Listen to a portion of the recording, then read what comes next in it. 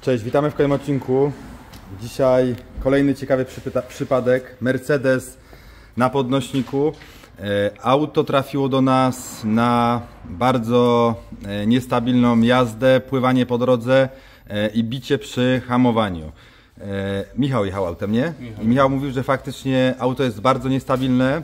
Sebastian tutaj sprawdzał zawieszenie i w zawieszeniu nic takiego niepokojącego nie było widać, co mogłoby świadczyć na aż tak e, złą, złe prowadzenie się samochodu. E, Chcieliśmy też sprawdzić, bo na końcu, jeżeli byśmy nic nie znaleźli, wjechalibyśmy na stanowisko geometrii byśmy tutaj drążyli temat geometrii, tak czy inaczej wjedziemy, ale tutaj mamy już jakiś trop. To może tutaj Sebastian powie, co znalazł? Bo właściciel mówił, że wymienili wszystkie e, tarcze, klocki z przodu, z tyłu i no i problem dalej był, jest cały czas, nic się nie poprawiło.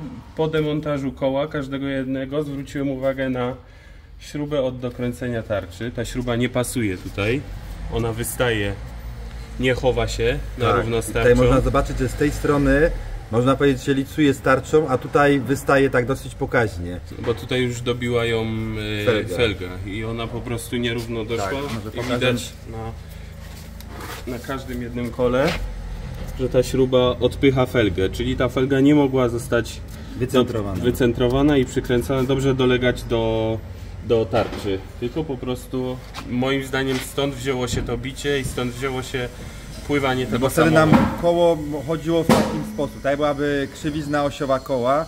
Jakby się jechało, no to cały czas by tak się zachowywało. Czyli tutaj pokażemy na oponie, jak nie dolegało, to jeździło na boki to koło, tak.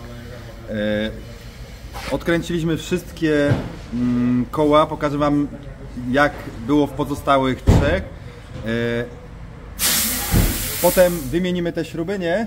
I zrobimy najpierw próbę, zanim cokolwiek będziemy Zrobimy, czy po wykręceniu tych śrub obczyścimy tutaj tarczę, obczyścimy felgę, założymy to wszystko z powrotem i moim zdaniem problem zniknie. Ja Wam jeszcze pokażę pozostałe koła.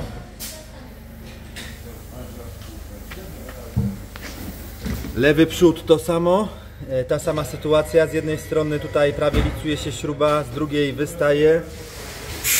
Na feldze, na feldze tak samo odbity tutaj punkt śruby, czyli felga nie mogła przylegać do tarczy idealnie. Tylnia oś to samo, popatrzcie, tak samo ta śruba wystaje. Tutaj mamy, o tutaj jest też odbicie na feldze.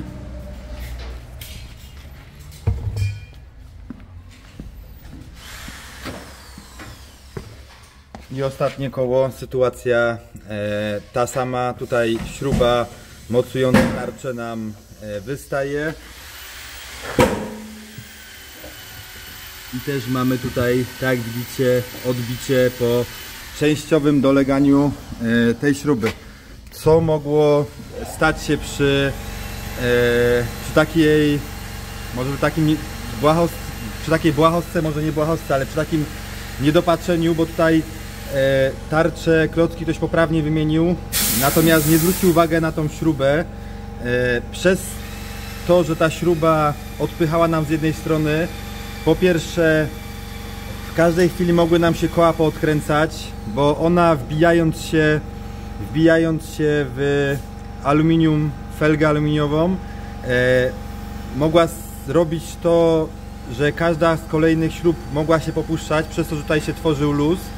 E, zawieszenia, e, łożysko przy takich dużych wibracjach, przy takich dużych biciach na bok e, mogły przy dłuższej jeździe ulec zniszczeniu.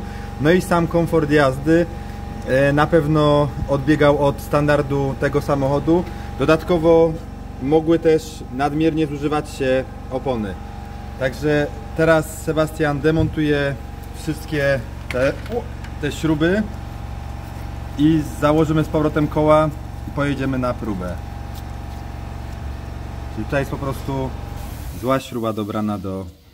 No to widać jak są po... No bo w BMW mają szersze, te nawet się chowają, nie? No ale to moim zdaniem to jest po prostu zła śruba, nie? Tak. Do tego. Lepiej jakby jej w ogóle nie było. O. Dokładnie. Także w tym odcinku to już wszystko. Dzięki za poświęcony czas i pozdrawiamy.